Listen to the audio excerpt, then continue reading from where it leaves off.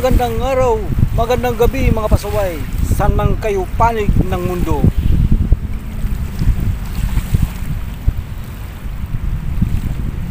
Alam niyo mga pasaway, iwan ko lang kung magandang balita to para sa inyo.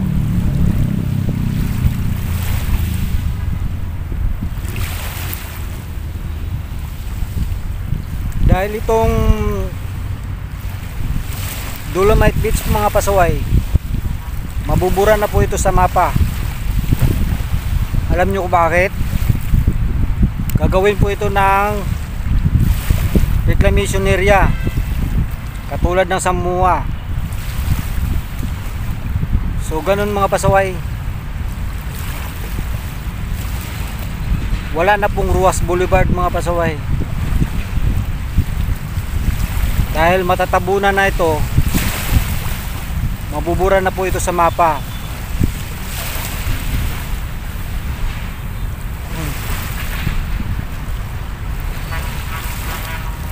Iwan ko ba mabasaway bakit ganito ang gobyerno? Oo nga makakalika tayo ng mga trabaho. Dahil patatayuan po ito ng mga building. Pero Marami nasisira mga pasaway eh. Kabuhayan ng mananagat nasisira na, wala na silang nakukuhang mga isda. At wala na rin tayo papasyalan na magandang tanawin tulad ng Ross Boulevard na to mga pasaway. Mm, nakakagagigil mo pasaway. Dapat sa kanila paparilin na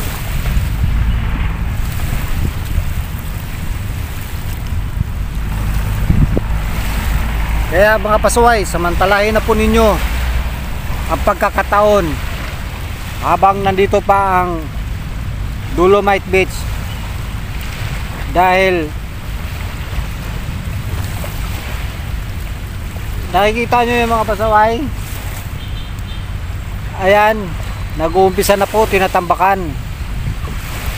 Kaya para may souvenir kayo dito sa Ruas Boulevard mag picture picture na po tayo mga pasaway.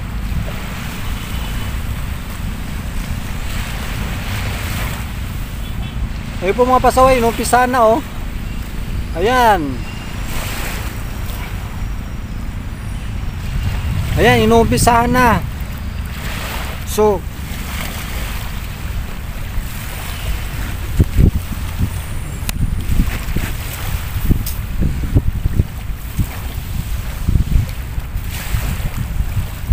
dahil itong bago matapos itong taon mga pasaway wala kanina wala ka nang makikitang dagat dito mga pasaway. Ganyan kasama ang gobyerno natin ngayon. Dahil aprobado na pala ni Pangulong Duterte noon ang inidudulo kong mga presidente siya pala nag-aproba nito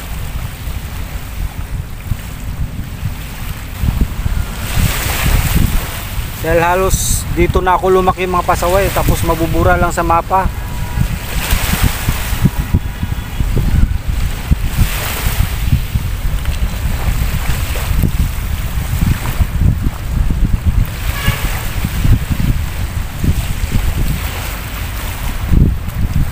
Kaya habang maaga pa mga pasaway kumuha na kayo ng souvenir dito. Mag picture picture na kayo ba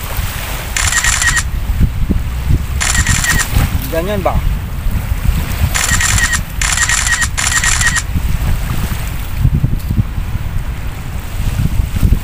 Dahil wala ka nang tatanawin itong Ruas Boulevard. Simula ngayon, mga dalawang taon siguro mga pasaway, wala ka na makikita ang Ruas Boulevard.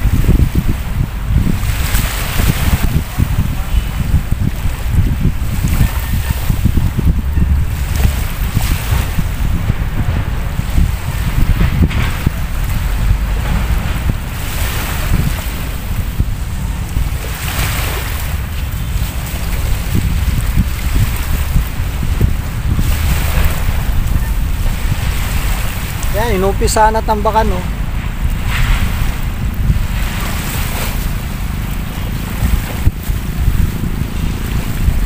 Sa loob ng Sa loob ng isang taon, wala na tong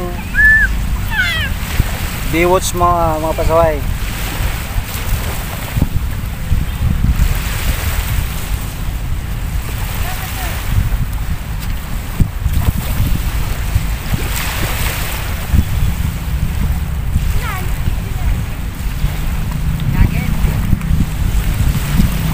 Nakakalungkot isipin. Dahil lang sa pera, tatambakan po ang dagat.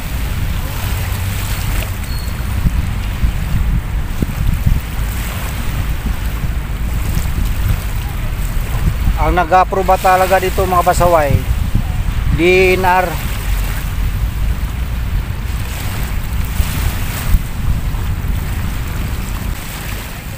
At pagdating doon, aproba i-aproba naman ito ng presidente. Nalaman sa balita, kay Duterte pa pala ito na aprubahan. Sayang mga pasaway.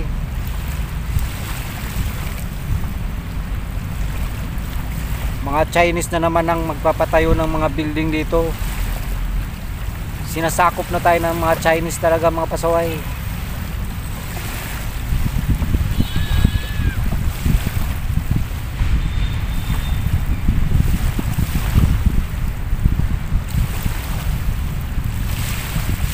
Ito nga lang Roas Boulevard ang pasyalan ng mahihirap.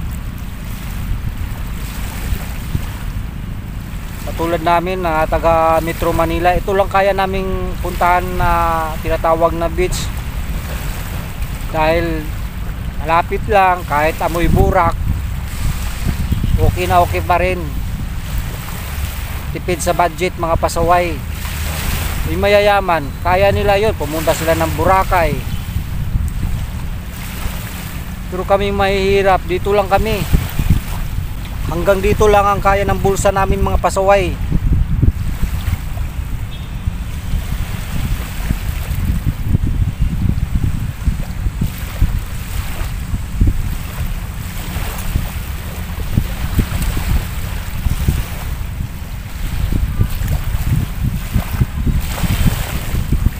wala na wala na tayong magagawa dito mga pasaway. Lalo na't ordinaryong mamamayan ka lang wala kang magagawa mga pasaway.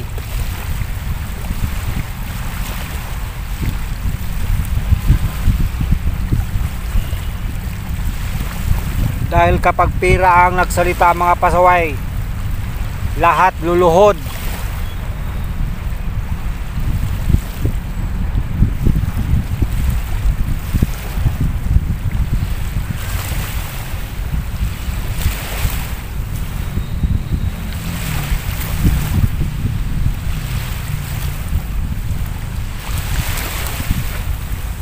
Marami pang mga mamamayan na hindi nakakalam ito mga pasaway na mabubura na ito sa mapa. Mawawala na ang Ruas Boulevard.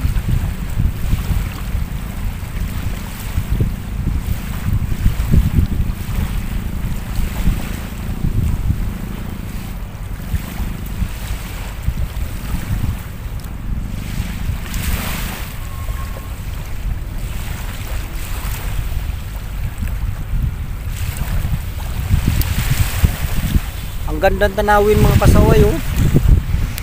Oh. Tingnan nyo mga pasaway, mga paligid, ang gandang tanawin oh. Oh.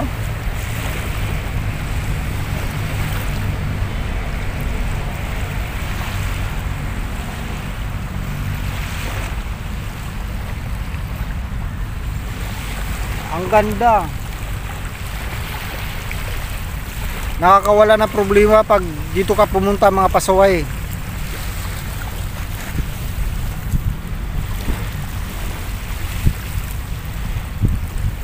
Gagaan ang pag-iisipan mo.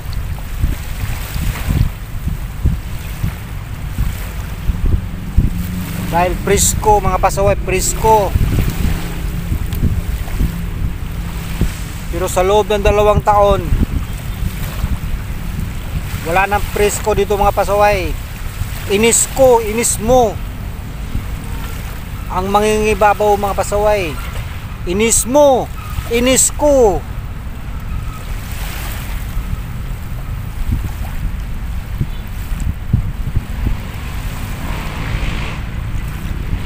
Dahil mahirap lang tayo, wala tayong kaya. Sunod-sunuran na lang tayo sa gobyerno nito mga pasaway.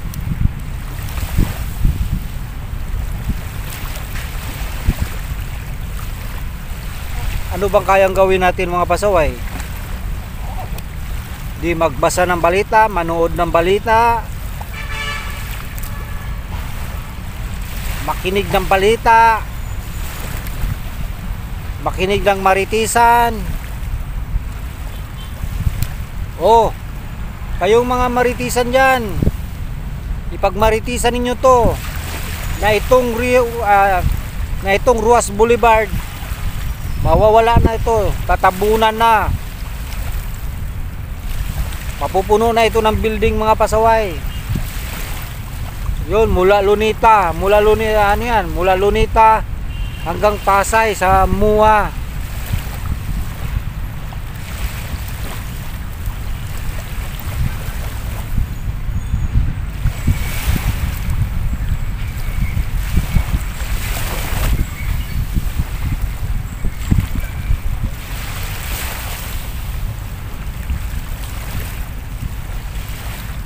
Sabi ng gobyerno, wag daw sirayan ng sure ano, mga corals ng karagatan. Pero hindi naman sinisira ng mayayaman ng corals eh. Tinatabunan pa kamo. O di ba mga pasaway? Patas ba ang gobyerno? Pag mahihirap na mangingisda ang dyan nakasa, na pag mahirap na mangingisda ang nakakasira ng karagatan, hinuhuli nila mga pasaway dinakasuhan. Kunting sira lang yan. Pero mayayaman dyan tinatabunan na yung karagatan. Pit, pikit mata lang sila mga pasaway. Dahil pag pira talaga pinag-uusapan. Lahat luluhod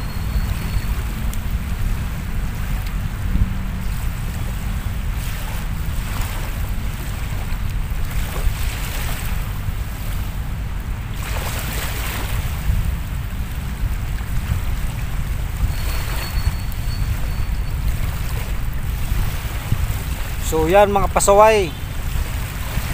Kung mapanood mo ninyo to mga video na to, punta na kayo sa Biwots sa Dolomite Beach na to mga pasaway. Dahil ito nang uli pagkakataon ninyo makikita sa loob ng dalawang taon. Hindi na po nyo ito makikita mga pasaway. Kaya magpusing-pusing na kayo mga pasaway. Habang nandito pa ang Dolomite Beach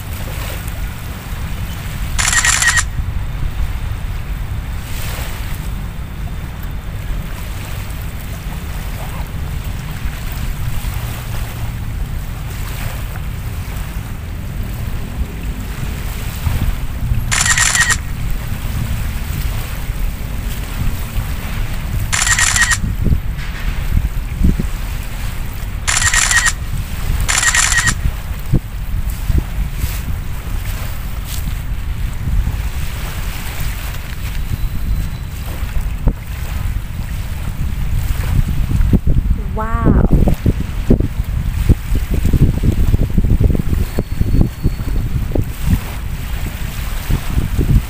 Yan, inumpisahan ko na pasaway ang magpupus dito.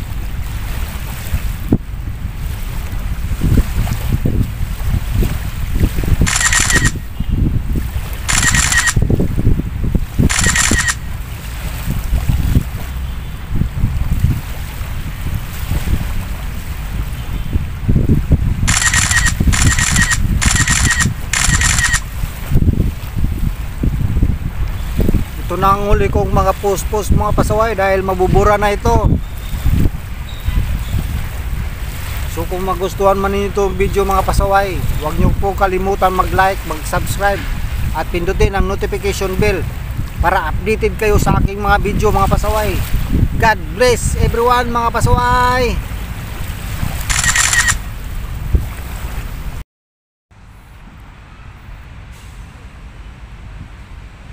Wala talaga paki ang gobyerno ng mga pasaway, no? Yan. Ginastusan ng bilyon-bilyon.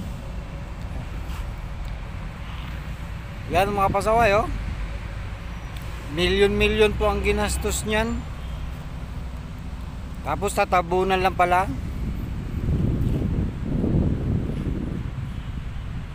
Nag-aaksaya lang sila ng pira mga pasaway. Ganyan po ang gobyerno natin ngayon. Oh, yan. Tinatapon lang yan. Milyon-milyon yan. Mababawal, mababaliwala yan lahat mga pasaway.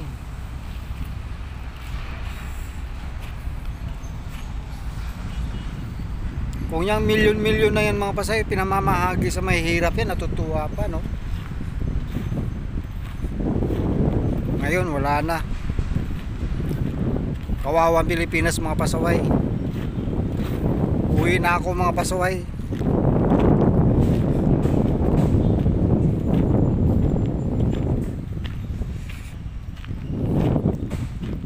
Dahil magdaldal ako na magdaldal dito, walang mababago yan mapangapasaway.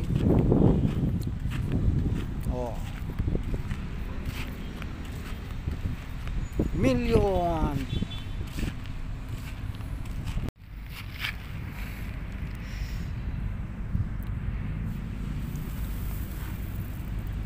Ayan o. Milyonis po ito mga pasaway. Milyon yan. Milyon. Ayan. Milyon. Yan. Milyon po yan mga pasaway. Milyonis. Mababaliwala lang. Oh.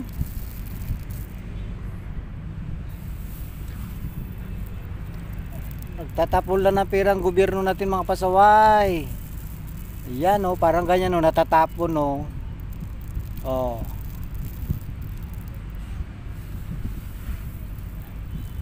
Yan, natatapon yung mga milyon-milyon mga pasaway. Sinasayang lang.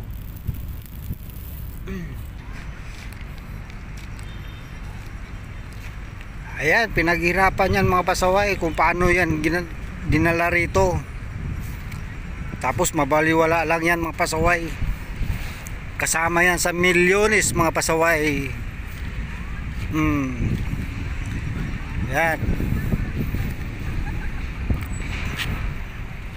Kasama yan sa milyones na mababaliwala lang mga pasaway.